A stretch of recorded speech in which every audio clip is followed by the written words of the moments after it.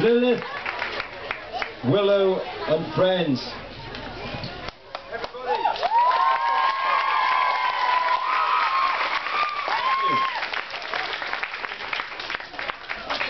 Okay, before we go on to the